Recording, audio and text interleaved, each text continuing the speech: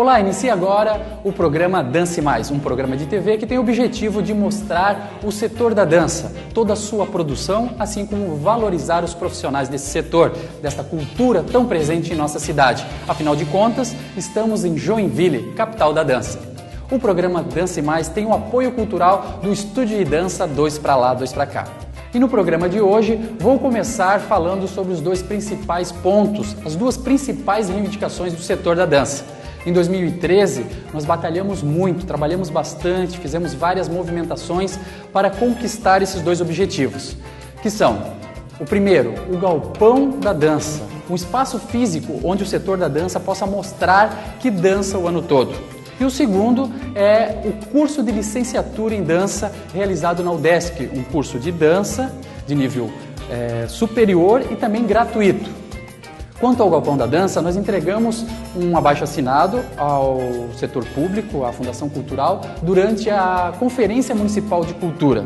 Foram 1.100 assinaturas colhidas e entregue durante a conferência. Realizamos também três fóruns setoriais e também fizemos dois é, atos públicos de reivindicação. Mas até o final do ano nós não tínhamos nenhuma resposta. No final do ano, então, eu como presidente da Anacan Joinville, a Associação Joinvilense, a Associação dos Grupos de Dança de Joinville, entreguei uma carta durante o, a reunião do Conselho Municipal de Política Cultural, porque também atuo como conselheiro de política cultural responsável pela cadeira de, de dança. Eu pedi à Fundação Cultural que se pronunciasse, que desse uma resposta quanto à nossa reivindicação e que essa resposta fosse oficial e por escrito. E aqui está. Né? Nós recebemos uma resposta positiva. Em 2014, nós teremos o tão sonhado Galpão da Dança, será lá na Cidadela Cultural. No modelo como o teatro tem o Galpão da Jote, nós vamos ter agora então o Galpão da Dança. E eu vou ler para vocês aqui um trechinho desta carta, onde o governo público, né, o, o, o governo municipal, a Fundação Cultural, mais especificamente na pessoa de, do presidente da fundação, Rodrigo Coelho, é, manifesta a sua aceitação né, quanto a essa reivindicação do setor. Então, vou ler para vocês, vocês confiram aí na tela. Considerando a importante contribuição que a dança vem proporcionando à elevação do nome de Joinville como polo de produção e distribuição cultural, a qual dá-se não apenas com o Festival de Dança de Joinville e a instalação da Escola do Teatro Bolshoi no Brasil, mas com uma série de iniciativas ligadas ao setor da dança representado pela ANACAM. Informamos que a solicitação da ANACAM para o setor da dança será atendida em conformidade com o item 3 do Plano de Governo e nos moldes do Plano Municipal de Cultura, que é um instrumento norteador da política cultural do município de Joinville. Atenciosamente, Rodrigo Coelho, diretor-presidente da Fundação Cultural. Então, aí está uma resposta positiva. Agora precisamos é saber onde e quando de fato teremos este galpão disponibilizado para o setor.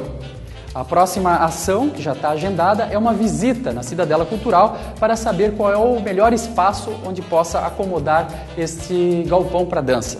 E vou deixar vocês informados, podem ter certeza, na semana que vem vou buscar mais informações quanto a este processo de reivindicação do setor da dança. E o segundo ponto é o curso de licenciatura em dança, que não tem ainda nenhuma resposta, nenhuma novidade.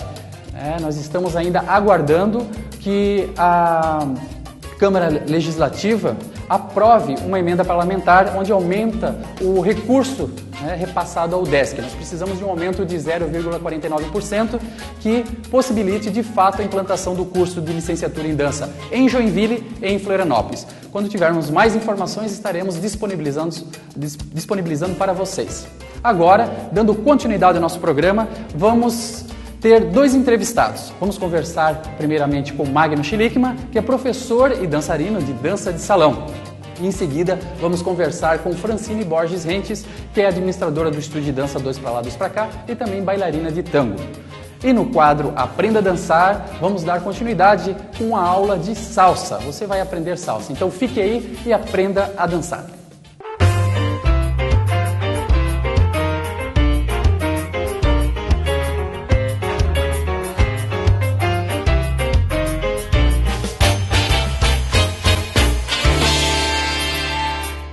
Vou conversar agora com Magno Schlickman, que é professor e dançarino de salão. Magno, seja bem-vindo ao programa e conta para nós como você iniciou nessa atividade, atividade da dança. Bem, Marco, eu comecei mais ou menos em 2005. Né? Comecei para vencer um pouquinho a timidez, o medo de me expor, conversar com as pessoas de uma maneira mais natural, né? E de lá para cá tem sido a minha vida. Você apostou na dança como uma atividade para desenvolver a sua, digamos assim, simpatia, a sua, é, é, digamos assim, superar a sua timidez e, e encontrou mesmo é, isso que buscava na dança, Magno? Isso e muito mais. É, hoje em dia eu trabalho somente com a dança e, e vivo com ela assim, de uma maneira incrível, justamente por ter me encontrado. Né? Acreditava que a profissão era só para você ter dinheiro, né? E não acreditava que você poderia ser feliz com ela. Conta para nós então assim quando, né? E como que deu esse é, esse insight assim para você? Não, eu vou trabalhar com dança, vou atuar profissionalmente com dança. Como aconteceu isso? Em finalzinho de 2006 para 2007, a minha vida deu uma reviravolta por completo. Cheguei a sair do país e tudo mais. E fora do país, para tentar uma vida diferente, eu acabei trabalhando com dança lá também. Né? Então isso tudo me provou que tá em mim, não adianta querer fugir. Voltei para o Brasil e aqui no Brasil já vim direto para trabalhar com dança e até hoje não, não mudei de profissão. E agora, Magno, então conta para quem está nos assistindo o que é viver exclusivamente de dança, porque ainda muitos dos profissionais da dança, né, é, quando a gente né, se encontra para conversar e tal, falar sobre o profissionalismo da dança, sobre essa profissionalização, enfim, essa carreira, né, é, comenta, né, que às vezes a gente fala assim, ah, eu, o que você faz? Eu trabalho com dança.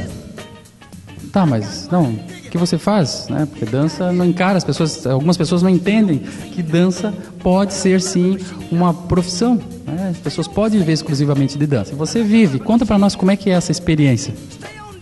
Incrível. Primeiramente é o que vem na cabeça.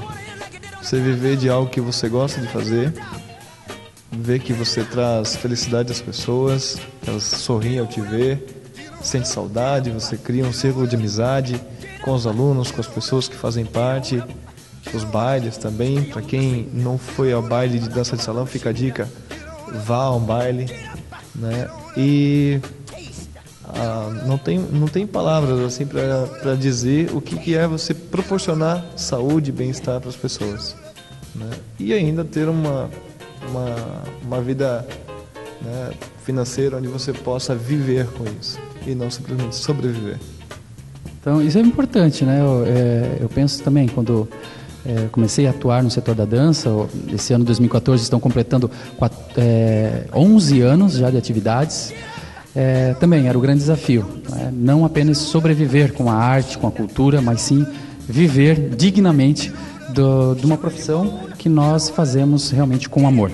Magno, e o que envolve, né? O pessoal que está nos assistindo conta aí, o que envolve a tua profissão como profissional, é, profissional, professor, bailarino, de dança de salão? O que, que envolve tudo que, que a tua profissão tem? Eu trabalho com aulas particulares, aulas em turmas, aulas fora da escola também, como o Dança Empresa no Laboratório Catarinense, um projeto maravilhoso na APAI, onde até proporcionamos uma, um, o ganho de uma, uma van para a PAI, né, através de uma rifa de final do ano que nós vendemos no estúdio.